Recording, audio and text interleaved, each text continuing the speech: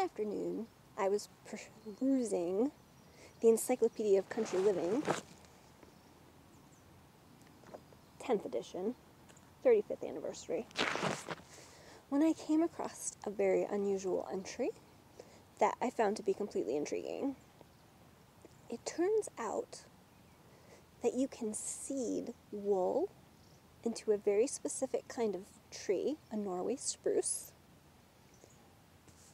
And if you water it correctly on the right days, it will grow hand spun socks.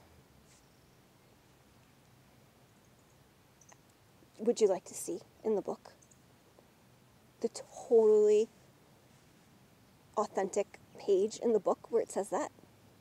Would you like to see? You should just trust me. I don't know why you don't trust me.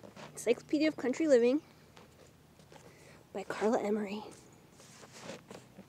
Here in the section on not herbs and flavorings. No, no, no, no, no.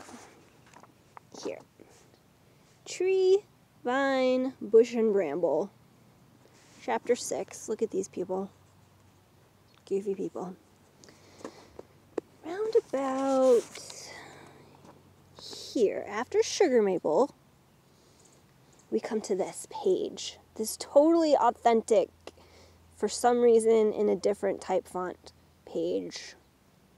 Instructions for growing hand spun socks on Norway spruce. It's really just two steps. You seed the wool onto the tree, and then you water until socks start growing. So we're here today to see, to investigate how it's been going. There's been a couple places where I seeded some wool, and then I follow the instructions on watering, and we're just gonna go check them out. You wanna check them out? Because you totally believe me about the completely authentic page in the book? This is our Norway spruce tree. It's very large and majestic, and you can't see it all right now. You know it's a Norway spruce tree because, see, it's a spruce tree. It has single needles that come out of the stem and they go all the way around. Specifically on Norway spruces, you can see the branch comes out here and then all the little branches hang down like water dripping off of a waterfall. That's how you can tell it's a Norway spruce because the main branch and then the little clusters of needles come down like that. Our Norway spruce is very large. It has been in our driveway for quite a long time. It's a very majestic and wonderful tree. And now we're going to look. I'm going to take you to the places where I've seeded some wool inside this tree, deep inside this tree, and we're going to see if it's been paying off. Oh my goodness. Oh my goodness. Do you see this? What? Oh my gosh. I mean, it's not a sock. Holy cow, but it's yarn. It's hand spun yarn. Look at this. Well, I have to be careful. I don't want it to fall off before it's ripe. But look at it looks like a true three ply yarn. It feels like a nice down wool. Oh my goodness. It's working. It's working. My friends, it's working.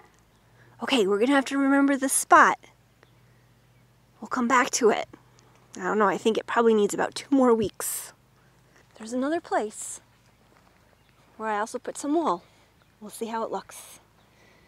The thing about it is it said, well, I don't think you could see it on the page, but it said it works best if you go underneath needles.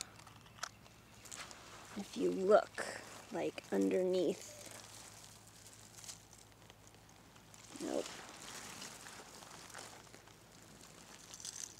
I don't see any there.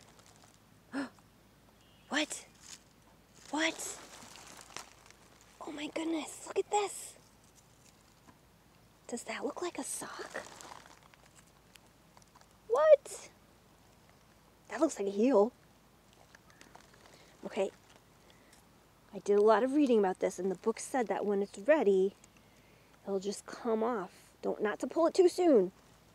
You shouldn't have to yank hard, but if you just pull gently, the sock should slip right off the stem.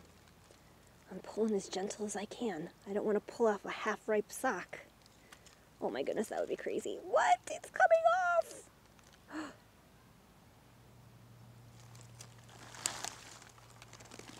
oh my god, if my neighbors are walking down the street right now. Okay, look. That looks like a cuff. Oh my goodness, and that's a toe. What? A fully formed sock. I found a sock in my tree. I grow a sock in a tree.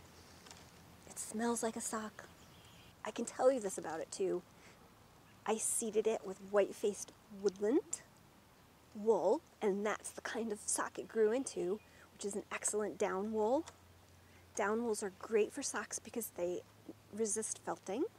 It doesn't have to be super wash and it's not going to felt when your foot rubs and sweats on it. I'm pretty excited. We'll check back on that other sock, on that other one, the yarn, in a few weeks. But in the meantime, experiment confirmed.